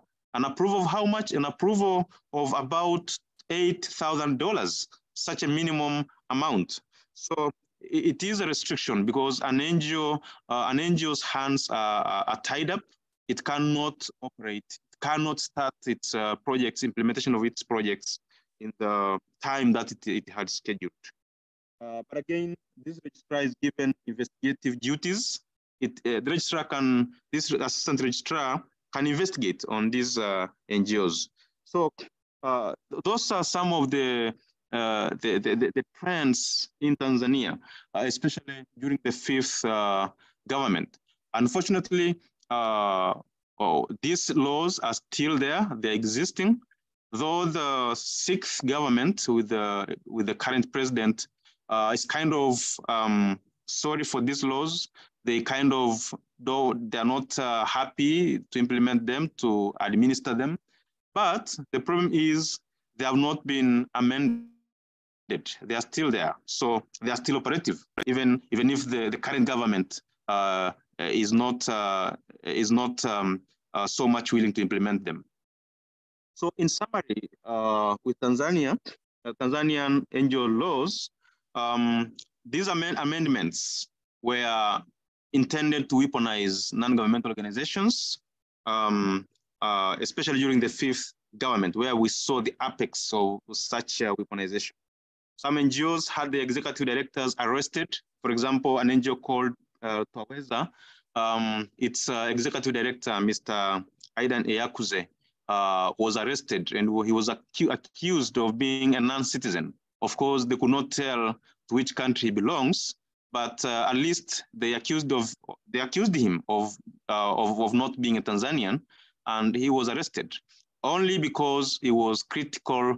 He was um, he was strong against the government movements that was not in favor of the people. Uh, but again, registration became difficult. Uh, back in the years, uh, like uh, it was indicated, I have been in the practice for, the, for more than 10 years. It, was, it used to be easy to, to register an NGO when you meet the qualifications. But after these restrictions, it became difficult to register an NGO. There are a lot of conditions, and sometimes someone sitting on his um, uh, on his seat of authority can just uh, twist a certain section of law and and, and, and misuse it to curtail, to, to, to, to prevent an NGO from being registered. Um, another law that kind of put restrictions on freedom of association in Tanzania is the Societies Act. Uh, uh, the Societies Act is an act uh, which registers uh, societies uh, uh, and um, most religious organizations are registered under this act. Um, with this one, there have not been so much amendments, but the act in itself is restrictive uh, freedom of association because it requires, unlike these other laws, unlike the NGOs Act, it requires uh, a lengthy procedure, and sometimes it involves, it requires the natural, the national security to verify whether that organization is um, uh, is uh, is uh, uh needs needs to be registered, or I mean, whether that organization should or should not be registered. So it brings it becomes cumbersome to, to register. Another act is the Political Parties Act. this is an act that provides for conditions and procedure for registration of political parties. but Again, during 2018, uh, 2019, there were so many restrictions on political parties. Uh, you might be aware that um, uh, Tanzania went to an, the government of Tanzania went to an extent, an extent of um, uh, banning other, uh, all political parties uh, from running their political rallies, from assembly. There's, there was no freedom of assembly in Tanzania for for about six about six years. Uh, political parties could not assemble anywhere, and this was just a decree of the president. There was no law on that, but the president decreed, and uh, for about six years, political parties could not hold any meetings, be it in the open space, be it in the in in in the buildings. Uh, the moment they are there, even for the administrative meetings, the police are there uh, telling them you have no, um, you have not been allowed to undertake this meeting. You should have informed the police for you to get authorization, and the meeting gets closed. So it was um, uh, it was uh, six years of uh, really agony uh, and and and and um, and, and, and a serious damage on political parties uh, because they could not hold even their internal meetings. Um, another law was um, another law um, uh, on that. Uh, yeah, those are the laws I want to talk about uh, in relation to, to Tanzania. Um, now, uh, just kind of uh, wrapping up about Tanzania, these restrictions are also uh, geared toward advocacy. Uh, on advocacy, there are those restrictions as well. And um, again, the, those restrictions come again around counterterrorism and uh, money laundering issues. Uh, the, the, the, the, the government comes uh, around uh, money laundering and counterterrorism to also restrict some, uh, to bring some restrictions. Um, public interest uh, litigation. Um, there are some organizations that have uh, had difficulties because they have undertaken public interest litigation. Um, and for example, in Tanzania, uh, you might, you guys might be aware of the Ngorongoro, what is going on in Ngorongoro. There are people who are being um, uh, being uh, taken out of the Ngorongoro uh, Ngorongoro conservation area to another area in a different part of the country called Tanga. And um, civil society organizations tried to come up and uh, defend the rights of these people. And these people were sought after, uh, especially because they have taken, uh, they have filed public interest litigations in the High Court of Tanzania and in the East African, uh, East African Court of Justice. Um, some, indeed, some people from these organizations had to go hiding because uh, they, they, could no longer be sure of their security. So uh, uh, even when these organizations attempt to uh, kind of uh, defend the rights of the people through a, legal procedure, such as approaching a court of law, still they will be hunted, uh, their families will be threatened, and they, they go hiding. Thank God they did not stop. Uh, these cases on public litigation are also going on, and I'm thankful for East African Society because they're also supporting uh, those movements, and um, they've been um, useful in, in those in supporting NGOs in Tanzania on those uh, movements. That takes me to a short discussion about Kenya. Um, like uh, I highlighted earlier on, the Constitution of Kenya is clear and guarantees freedom of association in very clear terms. Um, again, the statute is a problem. The NGOs Act of Kenya uh, is, is, is what brings um, a challenge. So the Constitution of Kenya, uh, it can fairly be said it is up to the international standard, but the legislation. And um, with Kenya, um, different from Tanzania, um, when these bills, when these laws were being, when these uh, bills were being taken to parliament, uh, the, the, the, the, the, the NGOs and the people of Kenya were able to resist and some of these restrictive clauses will not go into, into the laws. So different from Tanzania, uh, where the government was successful in, in, in putting these sections uh, on, on these restrictive sections on, on, on law through the parliament, uh, Kenya is, is little different that uh, uh, they managed to, uh, to resist the putting of these restrictive clauses, restrictive sections on, on, on laws on parliament. But again, um, you can talk about, you cannot, you cannot talk about uh, freedom of association, freedom of assembly in Kenya without um, uh, touching on the elections, the national elections in Kenya, uh, which have been um, uh, uh, very political and uh, involved instances of, um, of laws of public order. Uh, we remember the 2007 elections during Kibaki and uh, and uh, and uh, and, his, and the opponents. Um, there was uh, a lot of uh, bloodshed, and this all this came around freedom of association, freedom of assembly, freedom of expression. We have seen police in Kenya brutally beating up people, brutally killing people during those elections, and people were really uh, went through difficulties. Um, we remember that the Uhuru, uh, Uhuru Kenyatta and uh, the, the, the, the, the incumbent president were taken to the, uh, to the ICC, um, International Criminal Court. Yes. Uh, there's a clamor from our participants to have your video on. Maybe you can turn it on in the next two minutes as you wind up. Uh, thank you. Okay. Okay. Okay. Thank you. yeah. Uh, I think uh, I am seen. Yes.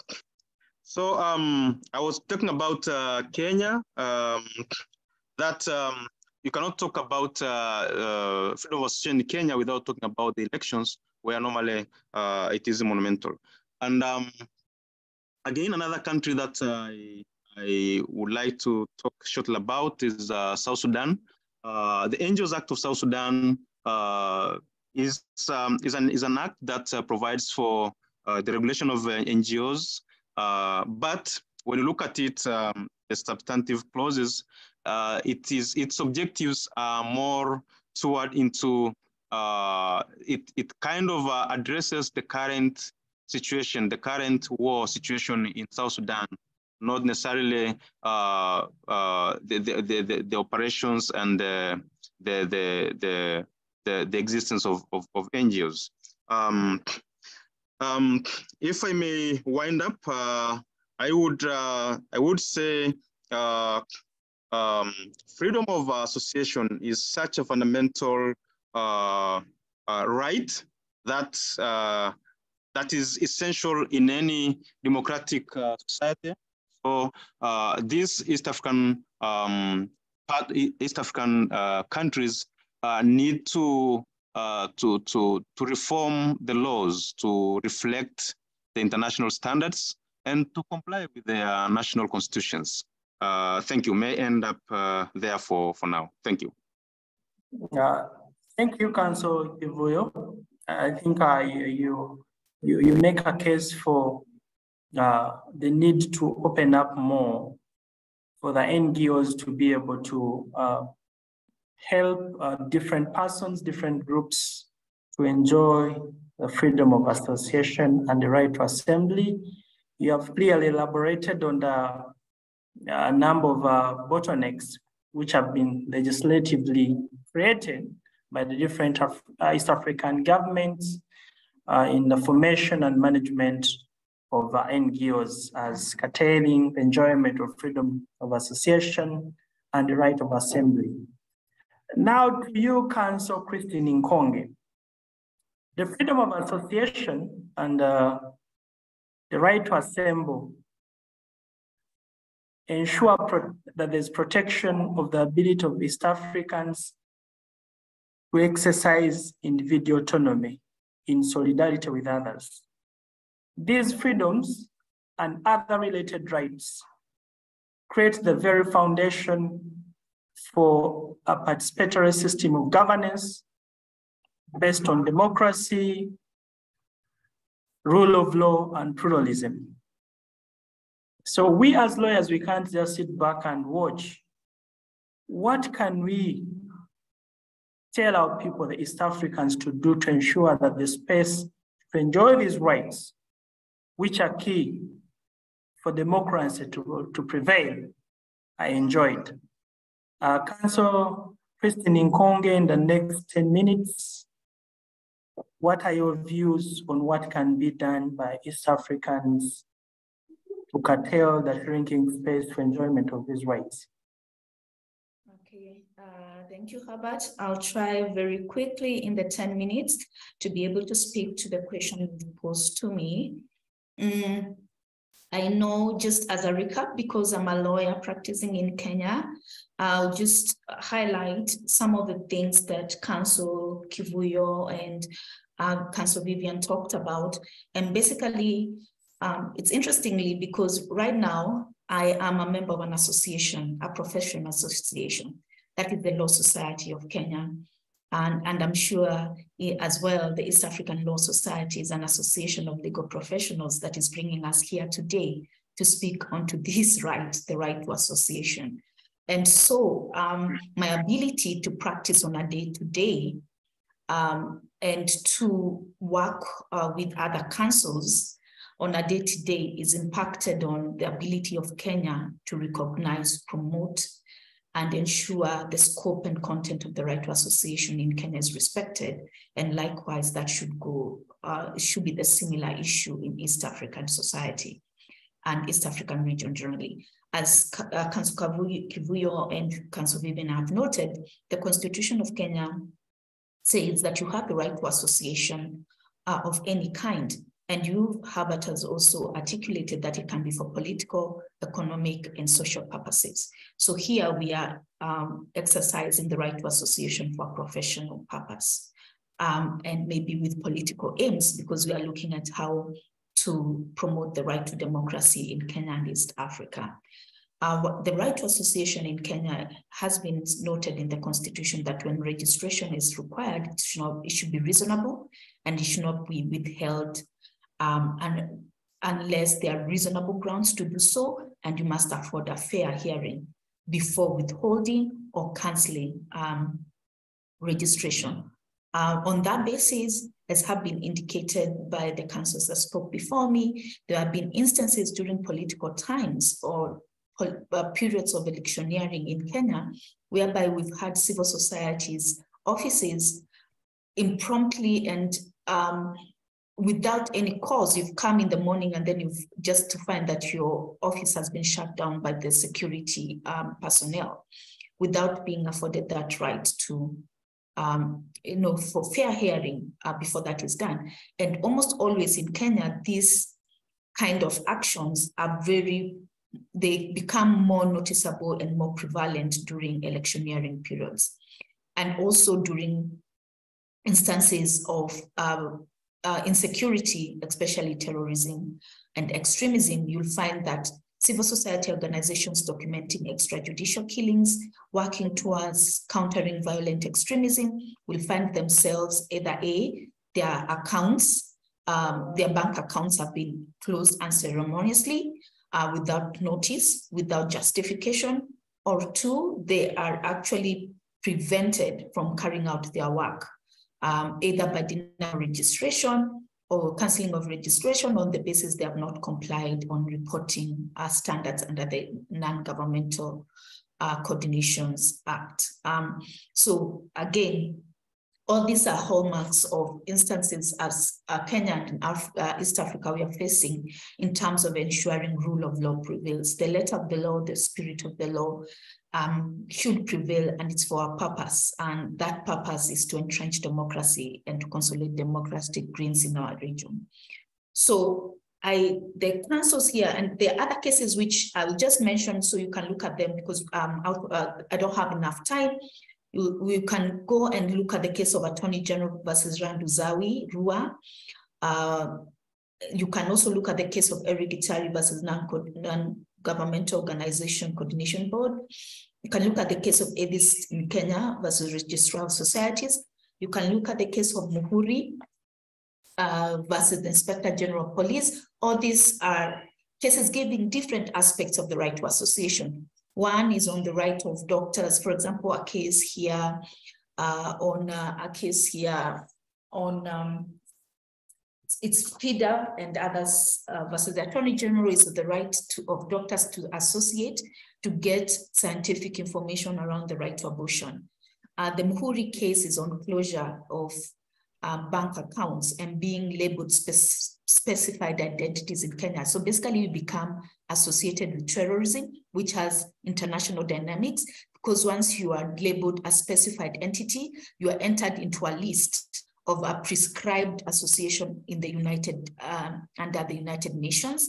And it really means you become tagged as an extremist or terrorist organization globally. So that is a terrible association to be, uh, to have when you are legitimately carrying out issue, uh, activities to promote democracy in the country um, and in Africa generally, and the rest around more generally on the issues of the right to association. So my fellow colleagues and counsels here have mentioned some of the things that we can do as lawyers to ensure that we continue. Councillor Christine Nkonge. Right. Uh, uh, thank you for the insight so far. What do you think East Africans as a general, without any inclination towards a particular profession, can do? Okay. Whether you're a farmer, whether you are a doctor, what yeah. can we do differently to widen the space? Okay. So what once uh, internal vigilance, uh, as we say here for civil society um, organizations working around from implementation is the of implementation of the constitution is this. You need to ensure that you have vigilance in relation to any laws being passed in parliament. You need to um, take advantage of the clauses you have in your different countries that talk about public participation, giving comments, giving petitions in relation to any law, proposed laws that are coming in, trying to close down the space for civic association. So engage in legislative um, processes to the extent that you can. Two, give petitions to your members of parliament and representatives whenever those laws are in place so that those members um, those members of the legislature can promote and um, articulate and amplify your voices. So petitions to relevant government institutions. Three, we should also use public interest in litigation to the extent that it's available in your different countries to push back on clawing, uh, uh, on clawing back of progressive laws and to strike and to strike down retrogressive laws and non-progressive laws where they exist. Um, so public interest litigation should be used either in your own countries or even we try at the East African Court of Justice.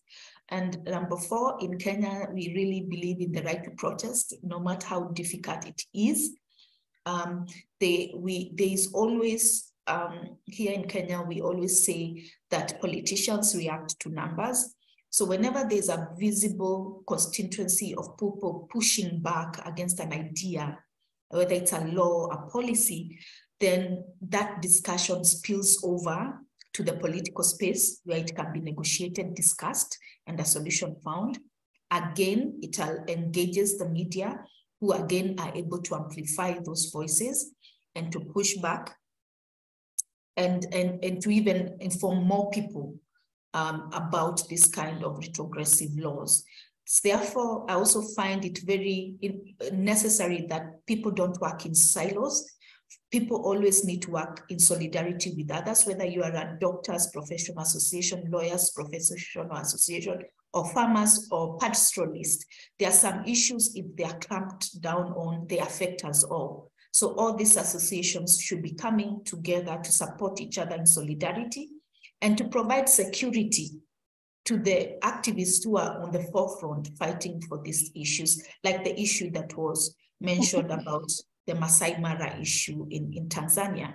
Those people needed solidarity. So whenever a group is being victimized, intimidated, oppressed because they are trying to um, exercise their right to association. Other associations like Law Society of Kenya, East African Law Society need to issue statements in solidarity because those that kind of support helps people on the front line. The third one is to advocate for adoption of progressive laws at, and, and these are the international stage. Uh, so uh, the, uh, the necessary treaties, conventions that a country should adopt to deepen and promote the right to association in their own country, we should fight for their adoption and, and um, implementation at the local level. And the last one is knowledge is power. So people need to be educated on why the right to association is important. As we've noted here, it affects all your other rights, your political rights, your rights to health, your rights to labor rights, um, fair pay, anything in which you need a critical mass of people to come in and support an idea needs the right to association. So educating our people that we should not just let lawyers and activists be termed as lawyers and activists on a single issue. It is wider than that. So let's continue to be to uh, deepen the knowledge of our communities on the importance of the right to association. I'll leave it there. Uh, thank you, Councillor Nkonge, for that able presentation despite having a very limited time. I believe your points have been very clear and understandable. Uh, equipping East Africans with the knowledge on these rights and freedoms is very important if they are to protect the spaces where they enjoy these freedoms. Uh, and finally, but not least, Dr. Walyemera, having you speak last uh, was by design and by default. You have had colleagues able to take her through freedom of association and assembly, the limitations provided internationally and municipally, um, the new trends within East African patterns for enjoyment and curtailing the enjoyment of these freedoms have been clearly elaborated.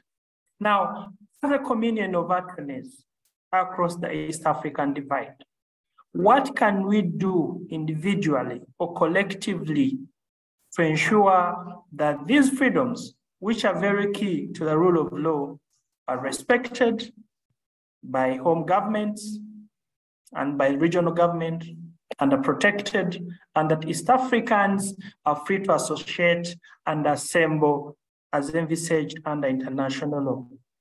Doctor, the floor is yours. Uh, thank you very much. Uh, uh, the difficulty of speaking uh, about one topic after all these uh, highly learned people have spoken uh, is quite challenging, although I'm going to try to skip whatever it is they have said so that's not repetitive. I, I, thought I should say a few things about what they have said, and I'll quickly go to those. I had also prepared a PowerPoint presentation. However, in view of the timelines, um, I think the organizers, I'll send it over to the organizers who can then share it with, uh, uh, with colleagues here. Okay, so just a few things about what colleagues have discussed. Uh, before I go to that, uh, perhaps we should start with the fundamental principles uh, that the uh, African Commission in 2017 laid down on interpreting uh, these freedoms, the freedom of association and assembly. Uh, uh, there are 10 of them. I will not dwell much on them because of the time that I have, it's so little. But you, uh, once I send my presentation, you see them there and I've, I've, indicated clearly the source. So if you want more detail, you can go to the source. Uh, one is that in the interpretation of the right to freedom of association and assembly, uh, presumption is in the favor of these rights. The presumption shall be in favor of the exercise of the rights to freedom of association and assembly. Two uh, is the enabling framework. Uh, that the enabling framework that is put in place in all our countries enables the exercise of these rights, uh, which is the primary purpose, and not necessarily the prohibition or, or, or, or the violation of these rights. Three, uh, political and social participation of an independent civil society. An independent civil society is very key uh, to the exercise of these rights. Four, human rights compliance. We see that the compliance with the constitutional, legislative, administrative, and other measures, which are uh, international, regional, sub-regional, then enables the enjoyment uh, of these rights, guarantees the enjoyment of these rights. Impartiality of governance agencies. Uh, many of our colleagues have been discussing about, uh, for example, the colleague, uh, Counsel Kivuya from Tanzania has been discussing uh, how government agencies are, are, getting a little excuse not to register an organization. So government organizations are supposed to be impartial in the conduct of for example, uh, like Counsel Kivuya has been mentioning, the registration of an NGO in uh, Tanzania. Simple, transparent procedures, still Counsel Kivuya has been telling you, and I think uh, other colleagues, uh, in regard to the cumbersome procedures of registering an association. And, and the African Commission is telling uh, these countries that are member states of the African Union that the procedures of registering an association should be simple and transparent.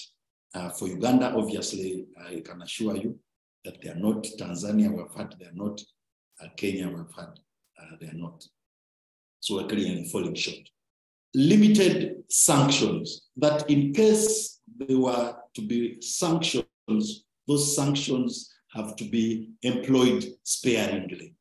Reasoned decisions, judicial review, that decisions shall be clearly and transparently laid out uh, with any adverse decisions against, against the enjoyment of the freedoms uh, being given clear written arguments or reasons on the basis of the law, and that there are, uh, uh, there, there are provisions for appeal of those decisions uh, uh, in, in, in higher platforms. The right to remedy, the African Union has a whole instrument on this, uh, that if uh, the association is wrong, then it has a duty, it has a right to uh, enjoy the remedies that have been granted to it. Uh, more protection, protective standard, that if there is a conflict between uh, the international standards and the national standard, the international standards, uh, regional standards, uh, uh, sub-regional standards in the case of East Africa should be upheld. Uh, sorry for taking your time, but I thought those 10 principles that are very key that the African Commission came up with, the protection and interpretation of this right uh, should have been, uh, uh should be um, laid out. Then my colleague, uh, Kanso I hope I pronounced that right, uh, discuss the aspect of informal associations. Uh, oftentimes, uh, you see in many of our jurisdictions, there's a requirement that if you're going to associate, you ought to be uh, uh, a formal association. with a formal constitution. And, and, and the African Commission saying, no, no, no, no. Both formal institutions, formal associations and informal associations are recognized as long as the informal associations uh, have some form of structure, there is no prohibition that should be laid out by the national legal framework prohibiting such an informal association.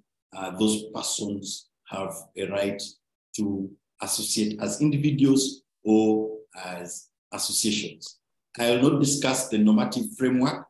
Uh, many of my, my colleagues have discussed that, but perhaps I should touch what, where that normative framework, framework uh, uh, sits. Where that normative framework sits is a place called civic space. And, and scholars have defined what civic space is. Uh, one has indicated that the layer between the state business and family in which citizens organize, debate, and act. Another scholar has indicated that that, that civic space is described as entailing a political, legal, socio-economic environment that not only, not only enables, but encourages citizens to exercise their rights, access information, voice their views, organize, engaging, and most importantly, meaningfully engage uh, their world. So this, this, these uh, rights that we've been speaking about, the free speech, association, assembly, uh, operate in that space that those scholars are defining as uh, civic uh, space. So what happens if that these rights are allowed, then the right free speech, association, to assembly, you then have a plurality of voices in that civic space.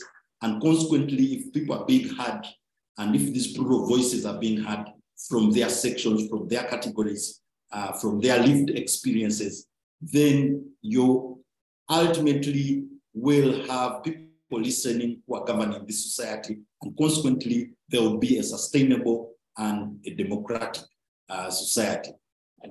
Now, if you, in a country like uh, we are in many of our countries on the East Afri in the East African region, if you are in a country uh, that is shrinking that civic space, then oftentimes you're going to see the silencing of voices of engaged citizens, citizens uh, the silencing of civil society actors, and obviously the silencing of those plural voices uh, then may lead to not only a social, uh, economic, uh, but also a political instability in uh, that society. Obviously, we have had challenges in the, in the East African uh, region here. We have had challenges with political instability. We have had challenges with economic stability many of our East African countries. You have saw Burundi, what happened there. if you look closely, you may see that the civic space uh, where these rights that we're discussing operate had been shrunk. And consequently, people had no way to discuss their issues and they had to go to the bush and that uh, or had to carry out a coup and that created a lot of challenges there. Uh, that's just uh, one uh, example. Then the other key issue that I would like to mention about civic space is that the civic space in which these rights, the three rights operate, is, is not fixed. It shrinks and expands depending on what the engaged citizens have calculated. And the lawyers are very key in either shrinking this space or expanding it. And if you have in a country where lawyers are quiet, where lawyers are not engaging in public interest litigation, where lawyers are not speaking up, where lawyers are not uh, uh, talking to other civil society actors, you're going to have this specific space in which these rights we're discussing are being mm-hmm. shrunk. If you're in a country where the lawyers are speaking up, where the citizens are speaking up, where the workers are speaking up, where the doctors are speaking up, where everybody is speaking up, you're going to have this civic space expanded. And, and, and, and, and, and, and, and consequently, the rights uh, will be enjoyed. Uh, obviously, are, uh, my colleagues have mentioned uh, the reasons for the shrinking of the civic space, but globally, obviously, which also affects East Africa, is that we see countries like the US moving, um, uh, uh, carrying out a more inward foreign policy. We see China's development as a superpower affecting how this civic space. we see counterterrorism affecting this space.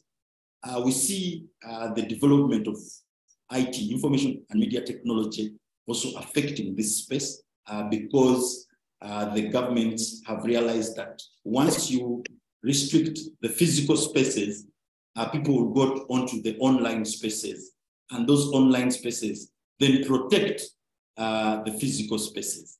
And, and we're, we're seeing that increasingly governments are thinking of now entering those online spaces and also shrinking those two. In Uganda here, we've had a couple of people who are launching uh, uh, uh, books, launching videos, launching investigative reports online, and the police comes up and says, you do not have a right to launch that report online. So, uh, what can we do? Uh, uh, obviously, before I go to what can we do, obviously, COVID also, in some sense, has affected this civic space in which these rights operate. so, what can we? before I say, before I go to what we can we do, my colleagues also mentioned a bit uh, in regard to what uh, the reasons that the, the government uses to restrict uh, these, these rights. Uh, obviously, national security is ranks very high there. Those who, have, who are interested have written a paper on this. Uh, there's there's a, an instrument uh, that restricts a government arguing that it is restricting your enjoyment of rights, basic fundamental human rights based on national security. Mm-hmm. Have a three-page uh, journal article. You can read it and see what the extent of restriction of based on national, security is. Uh, others will urge national sovereignty that uh, foreigners are interfering with, uh, with their running of the country, counterterrorism, money laundering. We've had NGOs all over the East African region uh, being, uh, uh, their bank accounts being freezed on the basis that they're either into money laundering or they're into counterterrorism or they are working with foreigners and therefore they are uh, uh, uh, enemies of the state. So what do they, these governments, what are they doing to, to on, based on those reasons, what are they doing? First, they are passing restrictive laws in parliament. Our colleague from Tanzania has mentioned them. I'll not go into those. But then secondly, and most importantly, they are ostracizing citizens who are engaged in attempting to expand these civic spaces. If you go into all these countries, you're going to see that citizens who are engaged in expanding the civic space in which these rights uh, to free speech, association, and assembly should be practiced are being uh, uh, uh, uh um, are being harassed. And not only them being harassed, but their families are also being harassed not only their families being harassed, the organizations that they work for are being harassed. And consequently, if you see, if you're a member of the civil society organization, if you're an engaged citizen in your society, and you see one of your colleagues being harassed, that has a chilling effect on how you then act uh, in the future. And the government security services, the government intelligence services are aware of this chilling effect uh, if they discipline one individual and close uh, the offices of one NGO, if they kill a security guard uh, who is guarding your information at one office of the NGO, some of you or many of you will, will cow back and uh, you get into self-censorship and that has a chilling effect on the rest of the civil society actors, which consequently freezes or shrinks that civic space in which you should exercise uh, these rights to free speech, association, and assembly. So what, what should we as lawyers do? What should we do as lawyers? Did I hear you say something? Okay. What no, should we really. Really. okay? What should we as lawyers do uh, in regard to, to fighting for this space, the, the space that those scholars have defined in which we operate, in which we enjoy these rights uh, uh, to free speech, association, and assembly. One, one of the ways, as I've told you, is the government's use uh, laws, restrictive laws, and, and we have an opportunity as lawyers, as law societies, that during the readings of these bills uh, at the second reading, at committee stage, I don't know what it's called in other countries, but here it's at committee stage and it's called the second uh, reading. The lawyers, individual lawyers can go and approach uh, uh, these committees who are scrutinizing these bills that are intended to restrict this civic space and they'll give their opinions. The law societies are often, especially for the Uganda Law Society, it's often invited uh, to give their views uh, on uh, bills that are before these committees.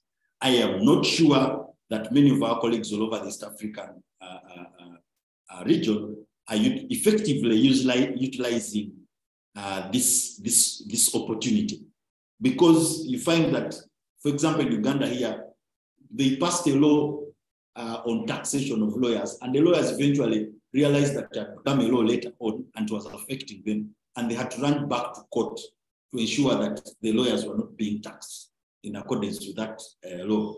However, this law had been presented to the Law Society, uh, had been distributed to the Law Society membership, and none of the members uh, uh, thought to go to this uh, uh, committee stage of, of the parliament to explain to them some of the basic, most basic reasons of the law. And, and, and obviously, came to bite members of the Law Society here. So, so this is a very key, important opportunity for lawyers within East Africa to utilize uh, when you see that bills are being uh, scrutinized committee stage, please approach, talk to the clerk of that committee, approach the, the, the, the, the, the committee, they will give you a time slot, you'll be able to discuss uh, uh, uh, your views in regard to these bills that may be restricted to these rights that we're discussing. Uh, most importantly, these bills that I'm talking about that restrict this civic space, that shrink the civic space, are usually drafted in vague and overly broad provisions. Uh, the vagueness and imprecision is intended to then enable the enforcers to use the political uh, lens uh, to enforce that law. Uh, and there are many laws, if you look at uh, laws on corruption, some people are, are, being taken on, some people who are stealing, a lot more are not being taken on. If you look at those who are violated these rights, the very rights we're discussing, some people are left alone, some people are taken on and shown as examples. So the, the, the vagueness with which these laws are drafted, and by the way, interestingly, it's the lawyers who are drafting these very broad and overly uh, uh, vague provisions are then used uh, to then enforce those laws because because since they are imprecise, you can't say it says this against something else. The, the way the politician wants to interpret it, for political motives, he will interpret it that way. So one of the ways lawyers can contribute is to ensure that whenever these bills are being brought up that attempt to shrink the civic space uh, in which we exercise these three rights, uh, free, free, speech, association, and assembly, we should be there at the committee stage uh, to make some noise to say whatever it is you're passing is wrong because uh, it violates uh, these rights, and those rights then enable uh, a free and democratic society. So you have a very, very big role there to play. Then my sister Ouya, Counsel Ouya, discussed about the necessity and proportionality test. Uh, it's, it's commonly known as the, as the three-part test, uh, or the Oakes test. It's from, from a Canadian case, uh, Republic versus Oakes. I'll, I'll send you this uh, presentation and you look at it. But, but it, it, it gives three tests that you should uh, uh, if, if, if these rights, if the right free speech, the right to association, the right to assembly is going to be justifiably, legally restricted, uh, it must pass the three-part test. And what is the three-part test? In simple terms, A, that that justifiable limitation has a legal basis. Two, that that justifiable limitation is pursuing a legitimate aim. Three, that that justifiable limitation is necessary in a free and democratic society. If you look at Article 19.3 of the ICCPR and many of our uh, regional, sub-regional documents, uh, even national constitutions, uh, you'll see that that right in some sense is reflected. In the national constitutions in some of the East African countries, it's broadly reflected. In some of the countries, it is specifically reflected. For example, in Uganda here, Article 43 uh, broadly reflects this restriction.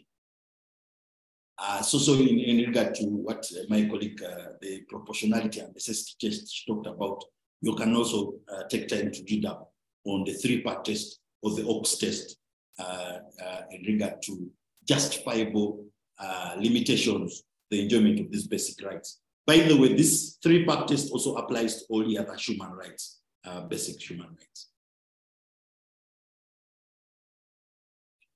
Uh, just to uh, conclude, uh, my, my sister Nkonge discussed many of these aspects, the other aspects that the lawyers and law societies can do to expand the civic space in which we exercise these rights.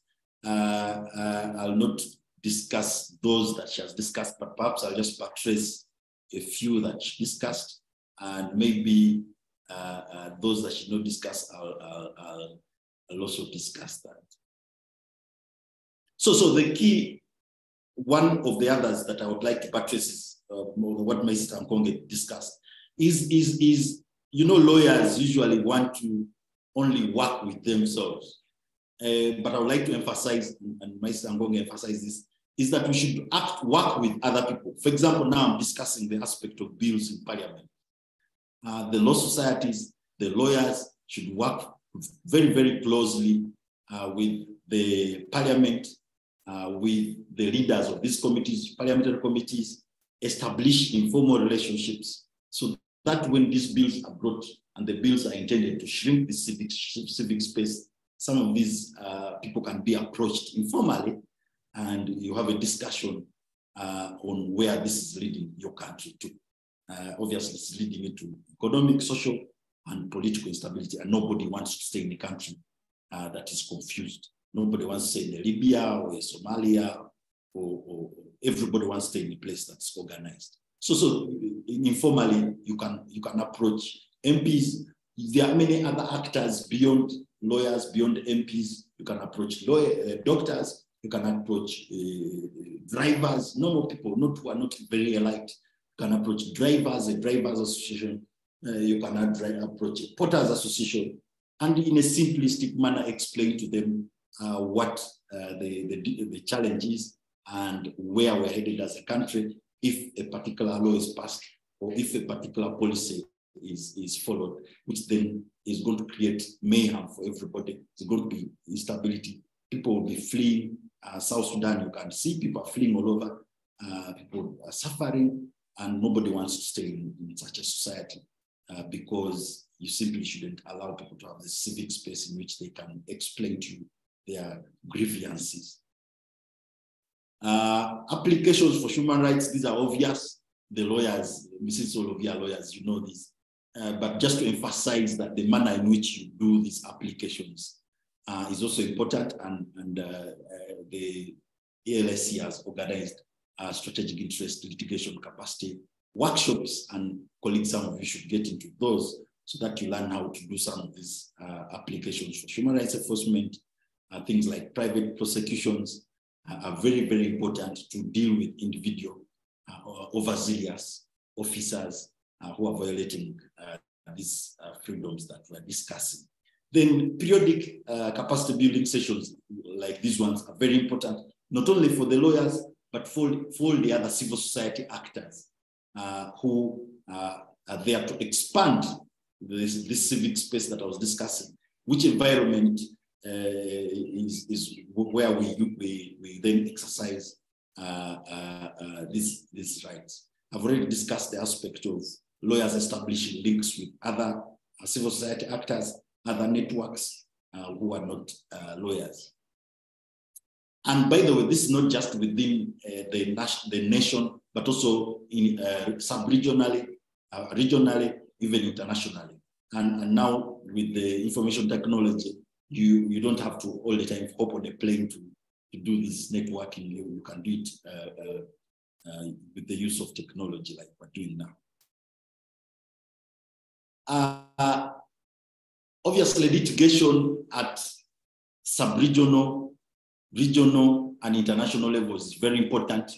Very, very important where the national uh, court system has been co-opted as a political tool to sustain the political power of those who are in power.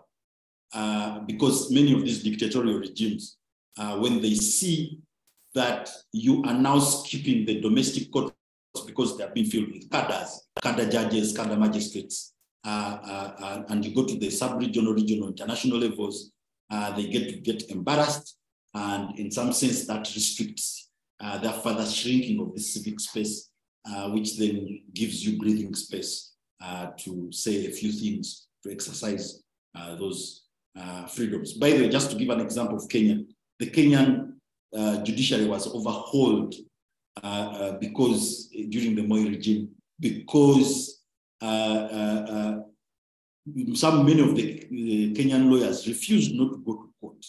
They continue to go to court because many of the lawyers discuss with these things, they say, now we are going to court. We obviously to find a cadre judge who will then issue uh, uh, an important judgment uh, that, is, that is for the status quo. But the advantage with that is that it leaves a record of that specific judge and his or her interest in judgment on the record. It's there.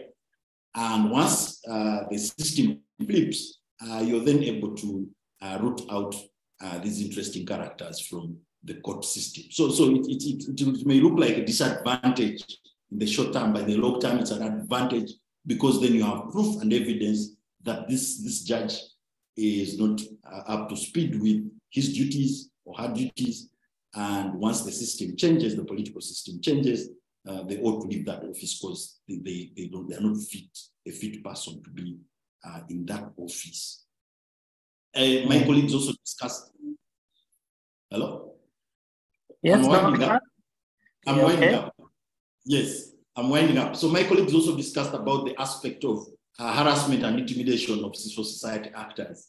And, and we've seen this even in, uh, in many of our places. My Tanzanian colleague talked of this man was, was uh, trying to be made stateless. And then there are many other, by the way, apart from that one, there are many others uh, during the, the previous uh, uh, regime that just disappeared. eh? And, and they were not put in. Uh, there, are, many, many uh, things, many harassments go on. But the key issue here is in establishing the security of these these civil society actors and individual engaged, in, in engaged individuals uh, is in networking. Networking. The more people you, you are in advocating for an issue, the more security you have. The more likelihood that an intelligence security fellow won't tamper with you because you very many people, you make lots of noise. You have networks beyond the national jurisdiction uh, where these people have power. You, there are people who are going to say a few things for you on your behalf in Kenya. Are people will say a few things on your behalf in South Africa. Are people will say a few things on your behalf if you're being harassed in, in New York. And, and, and the government will have to listen because it, uh, they, they have, they have they, they, although they are big here nationally, they have good fathers elsewhere that they have to answer to. And we see some of these activities, they include deregistration of the civil society organization, uh, obviously, the, what our Tanzania colleague mentioned, make you stateless. Uh, they include arbitrary office shutdowns, break-ins, vandalization, the freezing of bank accounts. This is especially during before, before, during, and after elections. You see many civil society organizations, uh, bank accounts being freezed on flimsy reasons. Uh, they are supporting terrorism. Uh, they, they, are, they are supporting foreigners, blah, blah, blah. Blackmailing of civil society actors, so if you're very uh, uh, uh, well-known civil society actors, they will use these tabloids to say a few things about you and a few of your uh, individual weaknesses and, and, make them pronounced in public to make you cow down. Delegitimization and criminalization of official and genuine civil society activities. You've seen the murder of civil society actors uh, in Uganda here, we've had many of those, uh, including uh, the, the security people who keep these civil society offices uh, being shot dead and no investigation or, or, or, some semblance of an investigation being done, which yields uh, nothing. Very, very important is the engagement of the diplomatic community. We have individual lawyers here who represent these embassies, who have influenced those embassies. And when they go to informally to those embassies and sit down the ambassador or the first secretary or second secretary and discuss some of these aspects, uh, these people have a lot of power against these so-called big leaders here. Uh, they, they will definitely uh, reduce the speed at which they are reducing our civic space. Uh, so individual influential lawyers who have contacts, informal contacts, formal contacts with the diplomatic community can use those. Our own law societies have these contacts with the diplomatic community. Uh, these leaders, once an ambassador sits them down, uh, once they sit, an ambassador sits down, a president of your country who you see uh, issuing all sorts of interesting orders publicly, they'll, they'll, they'll, they'll cow down. So this engagement with the informal engagement with the diplomatic community, whether by individual lawyers or by the law societies, the leaders themselves, is very important in expanding, maintaining uh, the civic space in which, which these three rights will operate. Lawyers have been trained in formalism. Eh? We like a lot of formalism, but informal engagements are very, very, very important uh, in resolving these issues. That's why I was saying that colleagues who have the call who have not done public interest litigation should do so. Sometimes you file a case in the court, a public interest litigation case, and you do not intend to win it. You simply intend to cause a debate around the issue. And, and you can only go get those tactics uh, uh, if, if you have some training in public interest litigation, which the ELS is happily, um, I'm happy is giving. And these informal engagements I am indicating are also very important uh, because you have people you know, I've given the example of the embassies, you have people you know uh, who are influential, who are special rapporteurs, who are at regional level, who are at sub-regional level, who have influence over these people who are shrinking our civic space, and you can uh, speak to them and they'll be able to listen. I'll just give you an example. In 2009, uh, we went to Ghana uh, as political leaders. And Ghana is where it is politically uh, that one, the ruling party will come and an opposition party takes over and there's no even one plate shot. Uh, there have been transitions from the opposition to the ruling. That was enabled partly by informal engagements.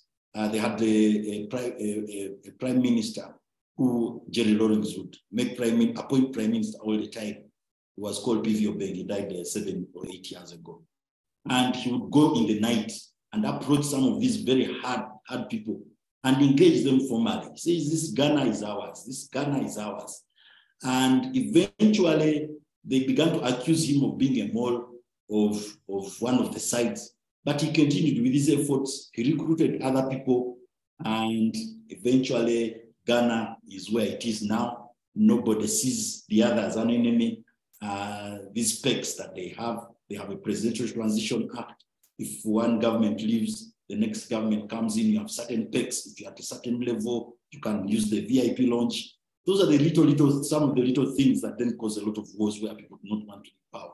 But some of those Ghana has resolved because of the value of informal engagement. So lawyers, please, please, please, I know you like formalism, and that's the manner of your training. But informal engagements are also very, very important in protecting this civic space in which uh, we can operate, in which we can enjoy uh, these uh, three rights uh, that are discussed, uh, free speech, association, assembly. Thank you, Doctor. Thank you very much. Uh, that's it. I'm sorry I've taken slightly more time uh, uh, uh, if I had done the, the PowerPoint, I would even it would even have been worse. But thank you very much for listening to me. So, thank you, Doctor, for the able presentation. We fully understand the time challenges. And thank you, colleagues, uh, Counsel Vivian, Counsel Kivuyo, uh, Counsel Nkonge, we are so grateful. Thank you so much. We are doing badly in terms of time. Our time was, to be honest, spent. We are now running on fumes. Uh, for the interest of membership, my apologies for keeping you beyond the time we had initially prepared for, but we can't leave without taking one or two questions from you. We had Yvette having her hand up right from the first presentation. I don't know whether we still have you, Yvette. If Yvette is not there, we can take any two questions from any colleagues and uh, one of the panelists will be able to speak to that question. Are there any questions coming from membership? Uh, Mr. Gabriel any questions in the chat room?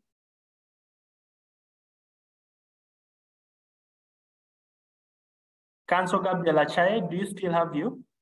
Yes, yes, certainly. Uh, you still have me. Uh, ladies and gentlemen, thank you so much for uh, enduring with us. Uh, I know the time has uh, really gone, but uh, Mr. Moderator, there are no questions in the chat room. Uh, I haven't seen any questions. So Okay. I, so over back to you. Thank you. Okay, thank you. Thank you, Mr. Gabriel Achai.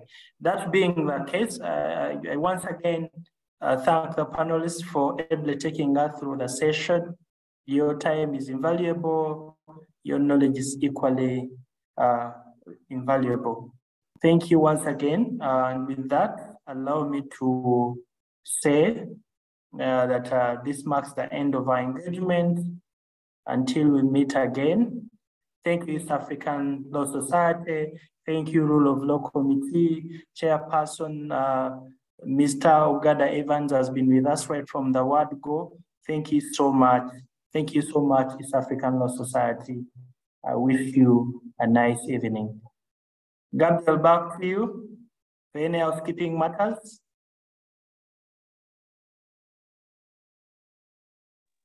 Well, from the Secretariat of uh, the East Africa Law Society, we are really grateful for your attendance of the session. Uh, kindly note that we have more of such sessions coming up and uh, we'll be sending um, certificates of participation uh, for whoever was on the session. A special thanks to the panelists and to you, the moderator.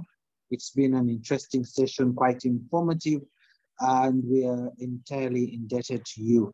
Uh, we'll be sharing the webinar report uh, via mail uh, before close of business this week, and uh, we shall definitely uh, send uh, the, the, the, the, the, the certificates. So we thank you so much and have yourselves a lovely afternoon. Thank you. Thank you very much. Thank you all. Bye.